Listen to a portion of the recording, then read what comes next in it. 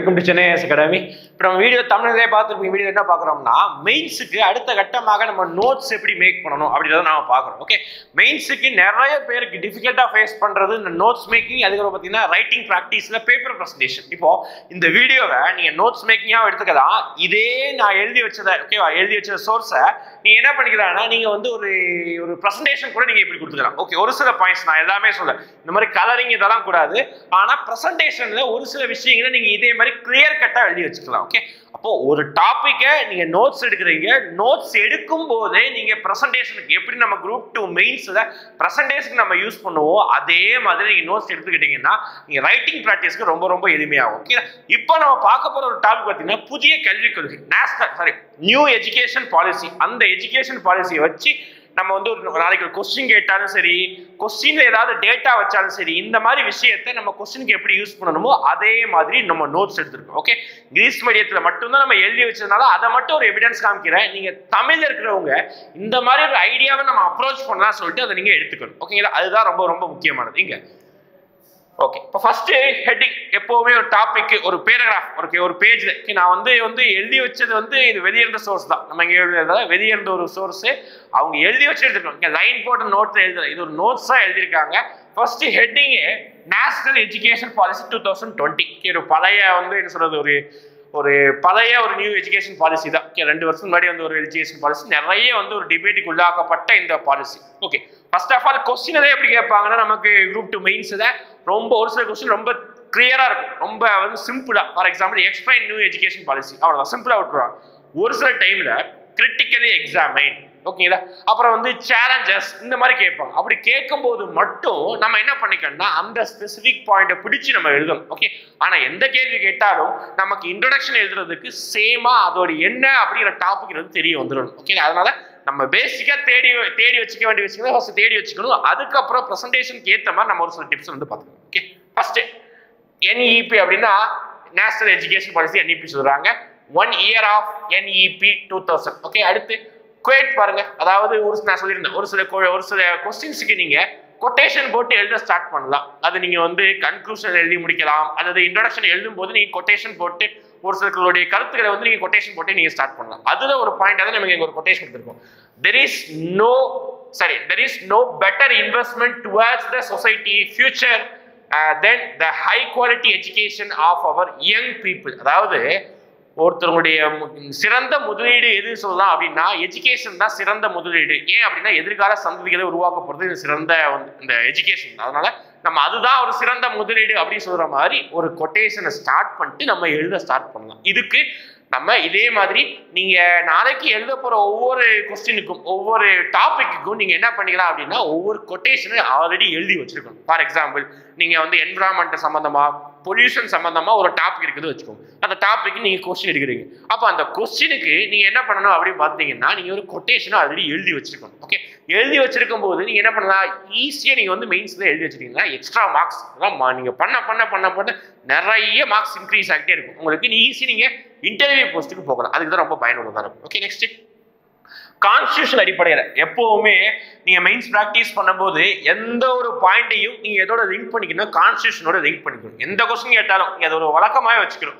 எந்த ஒரு question woman empower கேட்குறாங்களா கான்ஸ்டியூஷனை லிங்க் பண்ணுங்க. பாவர்ட்டி பற்றி கேட்கறாங்களா கான்ஸ்டியூஷன் இம்ப்ளிமெண்ட் பண்ணுங்க. ஓகே கான்ஸ்டியூஷனை அதில் வந்து இன்ஃபியூஸ் பண்ணுங்க. எந்த இடத்துல கான்ஸ்டியூஷனும் இந்த வார்த்தையும் லிங்க் ஆகுது. அதே மாதிரி எஜுகேஷன்ங்கிற வார்த்தையும் நம்ம கான்ஸ்டியூஷனில் எந்த வார்த்தையும் லிங்க் ஆகுதுன்னு சொல்கிறாங்க எஜுகேஷன் இஸ் என்ன லிஸ்ட் இருக்குது. கன்கரண்ட் லிஸ்ட் அது ஒரு பாயிண்ட் நம்ம வந்து எழுதி வச்சுக்கணும். அதுக்கப்புறம் எயிட்டி சிக்ஸ்த் அமெண்ட்மெண்ட்ல ஆர்டிகல் டுவெண்ட்டி ஒன் ஏ ஓகேவா ஆர்டிகல் டுவெண்ட்டி ஒன் ஏ இருக்குது.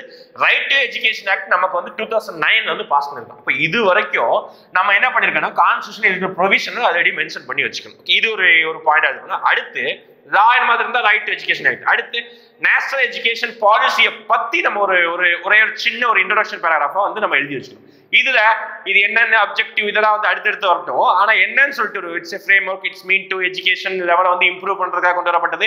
இது ஆல்ரெடி எந்த ஒரு நேஷனல் எஜுகேஷன் பாலிசி வந்து ரீப்ளேஸ் பண்ணதுன்னா நைன்டி எயிட்டி சிக்ஸோடைய எயிட்டி சிக்ஸோடைய பாலிசியை வந்து ரீப்ளேஸ் பண்ணுது. அது ஞாபகம் வச்சுக்கணும். அப்புறம் கமிட்டிஸ் நேம் இதெல்லாம் வந்து தெளிவா நோட்ஸ் எழுதி வச்சுக்கணும். இது நோட்ஸ் தான். இப்படிதான் அந்த ப்ரெசன்டேஷன் பண்ணி நான் சொல்றேன். ஓகேவா இதோடைய அப்ஜெக்ட் இது இதோடைய பேசிக் இன்ட்ரோடக்ஷன் கொடுத்துட்டு அதை சஸ்டைனபிள் டெவலப்மெண்ட் கூட மென்ஷன் பண்றாங்க. அந்த கமிட்டி பேரை மென்ஷன் பண்றாங்க. அப்புறம் எந்த கமி எந்த பாலிசியை இது ரீப்ளேஸ் பண்ணுது? மென்ஷன் பண்றாங்களா? அப்போ இது நீங்க ப்ரெசன்டேஷனுக்காக யூஸ் பண்ணுங்க. அடுத்து பாருங்க. இதோடைய இம்பார்ட்டன்ட் ப்ரொவிஷன்ஸ் ஓகே கண்டிப்பா ஒரு பாலிசி இருந்தால் அதோட ப்ரொவிஷன்ஸ் கம்பல்சரி வந்து நம்ம எக்ஸ்பிளைன் பண்ணி தான் ஆகணும். அது ஃபிஃப்டீன் மார்க்ஸ்ல எடுக்கும்போது நிறைய பாயிண்ட் ஒரு ரெண்டரை பேஜுக்கு எழுதுற மாதிரி இருக்கும். அப்போ ரெண்டரை பேஜுக்கு எழுதுறதுனா நமக்கு நிறைய ப்ரொவிஷன்ஸ் தெரியணும் அப்போ அந்த பாலிசியை பத்தி நம்ம ஆல்ரெடி தெளிவாக டிஸ்கஷனாக நிறைய பாயிண்ட் படிச்சிருக்கணும். படிச்ச நம்ம நோட்ஸ் கொடுக்க முடியாது. ஏன் அப்படின்னா நோட்ஸ் சிம்பிளிஃபைடு ஒன்று தான். அப்போ நம்ம படித்த விஷயங்களை ஒன்லி ஒரு லைன்ல நீங்க எழுதி வச்சுக்கணும் அது நோட்ஸாக இருந்தாலும் சரி உங்களோட ப்ரெசன்டேஷன் வேர்ட் லிமிட்டுக்காக ஒரு பேராக சொல்ல வேண்டிய பாயிண்ட் சிங்கிள் லைன் அல்லது ஒரு நாலு வார்த்தையில முடிக்கணும். அதுதான் இங்க ப்ரொவிஷன் இருக்கு. பாருங்க. ப்ரொவிஷனை பொறுத்த வரைக்கும் ஸ்கூல் எஜுகேஷன்ல என்னென்ன மாற்றங்கள்லாம் கொண்டு வந்திருக்கிறாங்க? இந்த நியூ எஜுகேஷன் பாலிசி என்ன மாற்றம் கொண்டு வந்திருக்காங்க? ஏர்லி சைல்டுஹுட் கேர் அப்புறம் வந்து எஜுகேஷன் அதாவது நம்மளுடைய எஜுகேஷன் சிஸ்டத்துக்குள்ளே எல்கேஜி யூகேஜி ஃப்ரீ கேஜி தான் இல்லாமல் இருந்தது. இப்போ புதிய கல்வி கொடுக்குறது அதை வந்து கொண்டு வராங்க. நான் இவ்வளோ பெருசாக சொன்னதை நீங்கள் எழுதுனீங்கன்னா நீங்கள் வந்து ரெண்டு மூணு பேரா ஒரு பேராகிராஃப் மாதிரி எழுதுவீங்க. அதெல்லாம் எழுதாதீங்க. ஒரே வார்த்தை. என்ன வார்த்தை பாருங்கள் ஏர்லி சைல்டுஹுட் கேர் அவ்வளவுதான். அந்த சிங்கிள் வேர்டில் நம்ம முடிச்சிருக்கோம் அப்புறம் எஜுகேஷன் கொடுக்குறாங்க. கேர் கேரிங்கும் பண்ணுறாங்க எஜுகேஷன் கொடுக்குறாங்க. அதுக்கப்புறம் பார்த்தீங்கன்னா இன்னொரு மாடல் இருந்தது. நம்ம இந்த எஜுகேஷன் மாடலுக்கு முன்னாடி ஒரு மாடல் இருந்து எல்லாருக்குமே தெரியும். Ten plus two plus three இந்த சிஸ்டம் தான் ஆல்ரெடி நடைமுறையில் இருந்தது. அதாவது டென்த் வரைக்கும் எஜுகேஷன் அடுத்து ப்ளஸ் ஒன் ப்ளஸ் டூ அடுத்து காலேஜ் எஜுகேஷன் இந்த மாதிரி ஒரு முறை இருந்தது. இப்போ அதை ரீப்ளேஸ் பண்ணிட்டு என்னவா கொண்டு வராங்க? Five plus three plus three plus four அப்படிங்கிற மாடலுக்கு கொண்டு வரோம். அப்போ இதை வந்து நம்ம தெளிவாக மென்ஷன் பண்ணணும். நீங்கள் எழுதும் போதும் அதை அண்டர்லைன் பண்ணி காமிக்கணும். ஓகே அடுத்து focus on foundational literacy numeracy numeracy maths சம்மந்தமாக த்ரீ லாங்குவேஜ் ஃபார்முலா ரொம்ப முக்கியமானது. நம்ம தமிழ்நாடு எதுக்கு அது ஆப்போஸ் எது எதிர்க்கிறதே எதுக்காக அந்த இந்த ஃபார்முலாக்கு தான். அப்போ இதெல்லாம் வந்து கோடிட்டு காமிக்கணும். த்ரீ லாங்குவேஜ் ஃபார்முலாங்கிறது ஓகே அப்போ இந்த மாதிரி ப்ரொவிஷன்ஸை ஸ்கூல் லெவலில் என்ன மாற்றம் அப்படின்னு சொல்லிட்டு நம்ம ஒரு அஞ்சு பாயிண்ட் எழுதினாலே போதும். Okay, நம்ம எக்ஸ்ட்ரா இருக்கணுங்கிறதுக்காக ஒன்பது பாயிண்ட் எழுதி வச்சுக்கிறோம் இருந்தாலும் அஞ்சு பாயிண்டே போதும். அடுத்து ஹையர்ஸ் எஜுகேஷன் அதாவது காலேஜ் எஜுகேஷனில் வேற என்ன? இன்க்ரீஸ் ஜிஇஆர் ஜிஇஆர்னா என்ன? கிராஸ் என்ரோல்மெண்ட் ரேஷியோ நம்ம படிச்சிருப்போம்ல. ஓகேதா அந்த பாயிண்ட் அப்புறம் higher education commission of India அதாவது ஆல்ரெடி யூஜிசின்னு ஒரு அமைப்பு இருக்கும். எல்லாருமே வந்து கேள்விப்பட்டிருப்பீங்க. யூனிவர்சிட்டி கிராண்ட்ஸ் கமிஷன் பல்கலைக்கழக மானிய குழுன்னு ஒரு அமைப்பு இருக்கும். அதை அந்த குழுவை இப்போ இன்னொரு அமைப்பு வந்து ரீப்ளேஸ் பண்ண போகுது. இந்த அமைப்பு? ஹிக்கி அப்படிங்கிற அமைப்பு வந்து ரீப்ளேஸ் பண்ண போகுது. அதுதான். அதே மாதிரி ஹையர் எஜுகேஷன் காலேஜ் எஜுகேஷன் என்னென்ன மாற்றம் இருக்குதுன்னு சொல்லிட்டு அது ஒரு பாயிண்ட் பாருங்க எல்லா பாயிண்ட்டுமே மூணே வார்த்தையில முடிஞ்சதா பாருங்க. அகாடமிக் பேங்க் ஆஃப் கிரெடிட் அவ்வளோதான் ஓகே அப்போ இந்த மாதிரி நேஷனல் ரிசர்ச் ஃபவுண்டேஷன் இந்த மாதிரி ஒரு மூணே வார்த்தையில உங்க பாயிண்ட்டுமே இருக்கும் ஆன்சர் சீட்ல முத கொண்டு நான் சொல்றேன். வள வளன்னு எழுதவே கூடாது. அவ்வளோ எழுதுனீங்கன்னா உங்களுக்கு வந்து அந்த ஒன்று வேட் லிமிட்டை ப்ரீச் பண்ணிடுவீங்க. ஓகே இன்னொரு பாயிண்ட்டு நிறைய அந்த பேப்பரே வந்து ரொம்ப வந்து கன்ஜஸ்டடாக இருந்த மாதிரி இருக்கும். இன்னொன்று மெயின் ரீசன் நிறைய எழுதுறீங்கன்னா உங்களாலேயே சுத்தமாக டைம் மேனேஜ்மெண்ட்டே பண்ண முடியாது. அப்புறம் சார் எனக்கு நிறைய கண்ணன் தெரியுது? ஆனால் எழுத முடியுது? அப்படின்னு எப்படி எழுத முடியும்? இவ்வளோ தெரிஞ்சதெல்லாம் நான் சொல்லணும்னு ஆர்வப்பட்டா முடியாது. ஓகே அப்போ தெரிஞ்ச பாயிண்டை நீங்கள் ஒரு லைனில் எப்படி பண்ணுறீங்க அதுதான் உங்களுடைய ஸ்கில் அதுதான் உங்களுக்கு மார்க் வேறு எதுக்குமே கிடையாது. ஓகேவா எல்லாரும் படிச்சிடலாம் எல்லாருமே எழுதிடலாம். ஆனால் எப்படி ப்ரெசன்டேஷன் பண்ணுறோம் okay at setup foreign colleges in India okay இதெல்லாம் வந்து ஹையர் எஜுகேஷன் அடுத்த ப்ரொவிஷன் பாருங்க.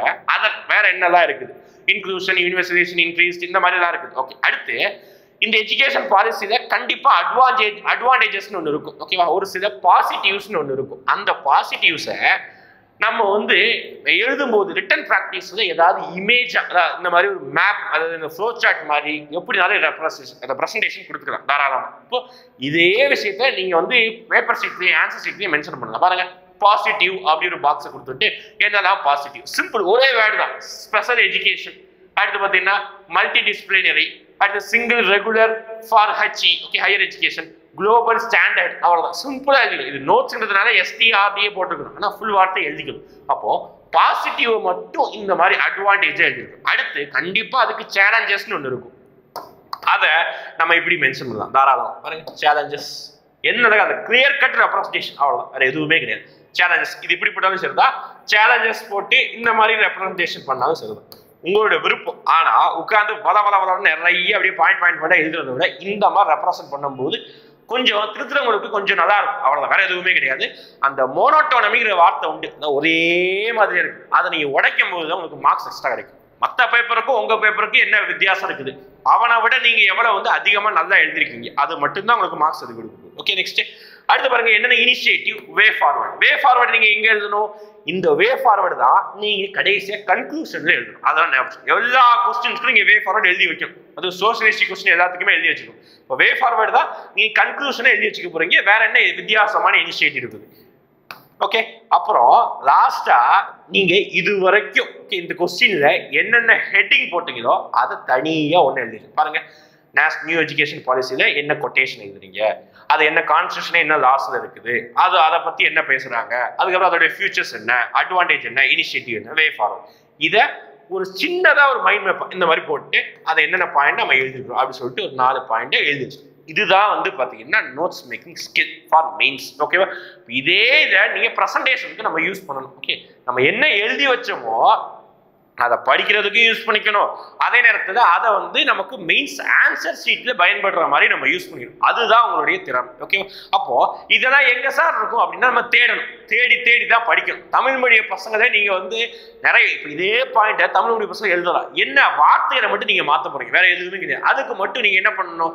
தமிழ் நாளிதழ்கள் எடுத்து பார்த்தீங்கன்னா அதாவது தமிழ் நியூஸ் பேப்பரில் இந்த நியூஸ் வந்திருக்கும். தினமணி நியூஸ் பேப்பரில் நியூ எஜுகேஷன் புதிய கல்விக் கொள்கைங்கிற ஒரு நியூஸ் வந்திருக்கும். அந்த நியூஸை ஆர்டிகல் நீங்கள் எடுத்து படிக்கும்போது இது இருக்கக்கூடிய எல்லா வார்த்தைகளும் கம்பல்சரி தமிழ் வார்த்தைகளும் ஈஸியாக தெரிய வந்துடும் வேறு எதுவுமே கிடையாது. ஓகேங்களா அப்போது நீங்கள் எழுத வேண்டியது உங்கள் பேப்பர் ப்ரெசன்டேஷன் அதுக்கப்புறம் நீங்கள் நோட்ஸ் மேக் எல்லாமே இந்த ஒரு வீடியோவை இப்படி தான் பண்ணுறது தெரிய வந்துடும் ஓகேங்களா கண்டினியூஸாக எழுதி வந்து ப்ராக்டிஸ் பண்ணிட்டே இருக்கு. Okay thank you